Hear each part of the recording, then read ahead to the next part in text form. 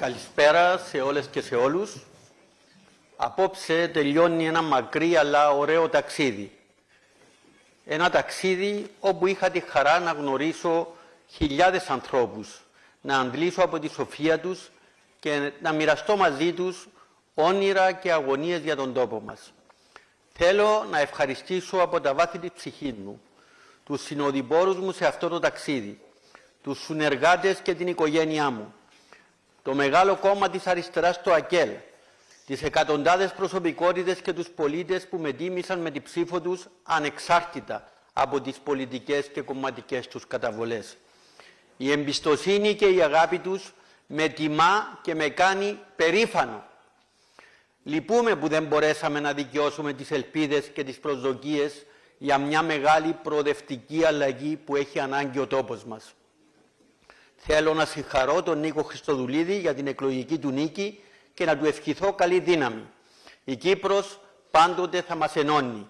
Σε ό,τι μια φορά παραμένω ενεργός στον αγώνα για το κοινό καλό και την επανένωση της πατρίδας μας. Ευχαριστώ όλες και όλους.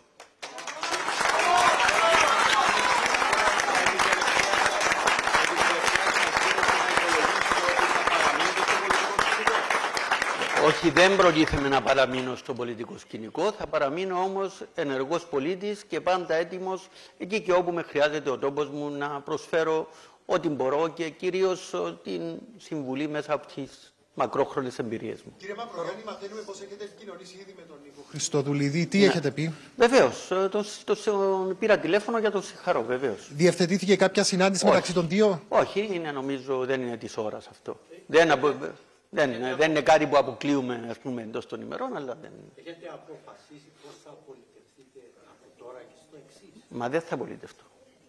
Από τώρα και στο εξής, εγώ θα είμαι ένας ε, ενεργός πολίτης, όπως ε, θα ήθελα να πιστεύω πω είμαστε όλοι μας εδώ. Ένα μεγάλο όμως ποσοστό του κυπριακού λαού σας ψήφισε για πρόεδρο της Δημοκρατίας. Συνεπώς, σας θέλει στην πολιτική.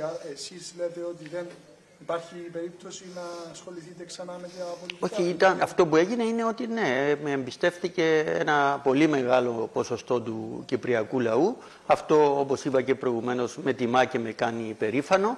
Αλλά εγώ δεν θεωρώ ότι ε, αυτοί οι άνθρωποι είναι ε, κάτι πέρα από το ε, άνθρωποι που έχουν ένα επίπεδο, που έχουν αποφασίσει με βάση ε, την καρδιά τους, με βάση μια ορθολογική προσέγγιση, με βάση τη σοφία τους και βεβαίως ε, εναπόκειται σε αυτούς υπό τις περιστάσεις να συνεχίσουν να είναι ενεργοί πολίτες και να διαμορφώσουν το μέλλον αυτού του τόπου. Τι θα λέγατε στον νέο πρόεδρο να προσέχει; Να, να προσέχει πάνω απ' όλα ε, δεν είμαι, ξέρετε, δεν μου αρέσει να δίνω συμβουλές, αλλά αυτό που έχει τεράστια σημασία για μας είναι η επανένωση του τόπου μας, είναι η χρηστή διοίκηση, είναι το να έχουμε θεσμούς που να λειτουργούν, είναι η δημοκρατία μας, είναι όλα αυτά τα πράγματα που έχουν να κάνουν με την ποιότητα ζωής των ανθρώπων μας.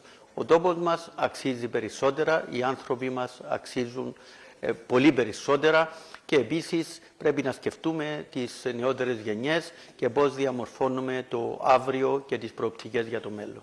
Αν ο πρόεδρος της Δημοκρατίας θα ζητήσει να παραμείνετε στη διαπραγματευτική ομάδα. Θα δεχτείτε κάποια τέτοια πρόταση; Δεν, κοιτάξτε, δεν θέλω να αποκλείσω τίποτε. Δεν είναι αυτή η δική μου προσέγγιση. Εγώ αυτό που έχω πει είναι ότι αν υπάρξει ανάγκη να συμβουλεύσω σε θέματα που αφορούν την επανένωση του τόπου μας, θα είμαι πάντα έτοιμος. Δεν θα ήθελα να έχω ενεργότερο καθημερινό ρόλο, ας το πούμε. Κύριε Μαυρογιάννη, τελείωσαν οι εκλογές μετά από τόσους μήνες έντονου προεκλογικού. Πού θα σας βρει μέρα αύριο, Στο σπίτι μου.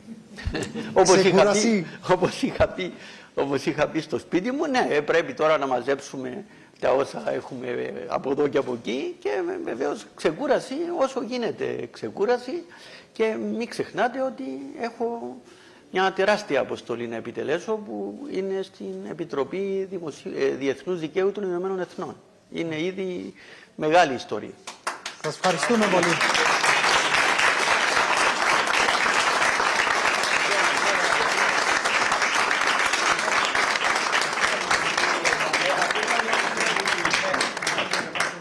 Δεν θα, δεν θα παραμείνει στην ε, ε, πολιτική, απλώς θα θα παρουσιάσει ο συνεργός που Δήλωση του Ανδρέα Μαυρογιάννη. κοινωνικά θέματα. Δεν θέλει να συζητήσει.